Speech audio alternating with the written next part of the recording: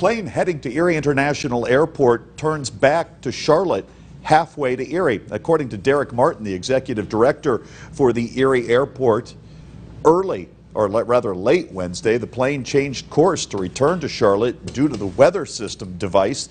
Uh, a malfunction which is a Federal Aviation Administration issue. Uh, these images provided by a website known as flighttracker.com. We're told the pilot requested weather information in Erie.